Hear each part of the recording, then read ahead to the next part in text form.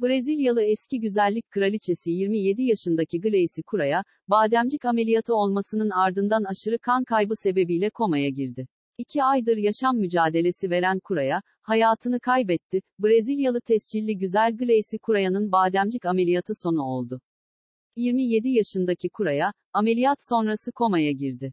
Genç model, ameliyattan 5 gün sonra ciddi kan kaybına bağlı kalp krizi geçirince yoğun bakıma alındı. Daily Mail'de yer alan habere göre, yoğun bakımdaki 2 aylık yaşam mücadelesini kaybeden Gleice Kura'ya, 2 gün önce yaşamını yitirdi. Yanlış müdahale, Kura'nın aile dostu Jack Abreu, sosyal medya hesabından yaptığı açıklamada ailenin kesinlikle ameliyat sırasında yapılan yanlış müdahale nedeniyle kızlarının öldüğüne inandığını dile getirdi. Abreu, ayrıca, Tanrı, prensesimizi almak için bugünü seçti. Onu çok özleyeceğini biliyoruz ama şimdi gülümsemesiyle gökyüzünü aydınlatacak. ifadelerini kullandı. Aileye yakın başka bir kaynak Lidiane Alves Oliveira'da, bademciklerini almak için ameliyat oldu ve evde 5 gün kaldıktan sonra kanama geçirdi. 4 Nisan'da kalp krizi geçirdi ve o zamandan beri nörolojik aktivitesi olmadan komadaydı.